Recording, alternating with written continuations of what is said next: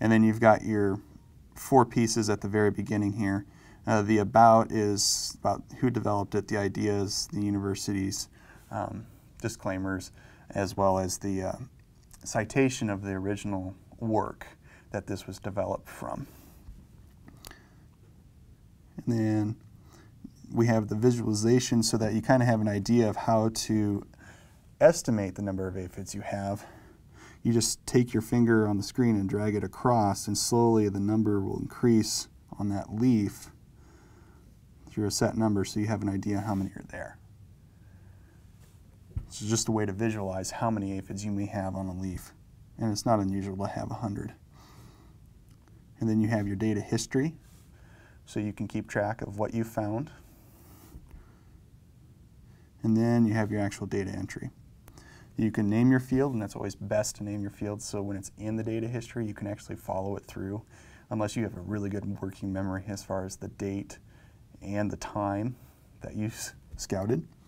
And then you can put your size of the field in, especially that might be more important for a crop scout, because a farmer's going to know how big his field is.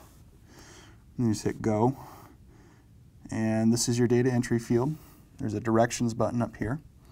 So it walks you through, you find your first plant at random, you got to go at least 30 feet or 30 rows into the field so you're staying away from the edges. Edges tend to throw things off when you're trying to figure out what's going on in the field.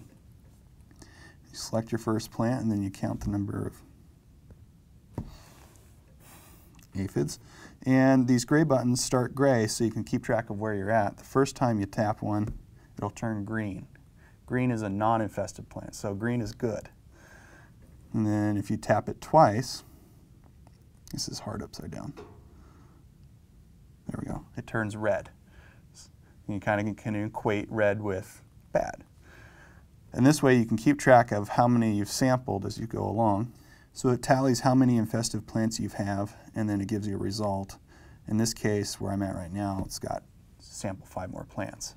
See, then you hit the show next five button, and then you just keep repeating until it either gives you the uh, sample again in seven to 10 days or the treat. Let's go with that. So if it has resample in seven to 10 days like I've got it now, you can start by adding it to history so you know where you're at. And then you can set a reminder on your calendar so that it reminds you when you need to go back out and sample again.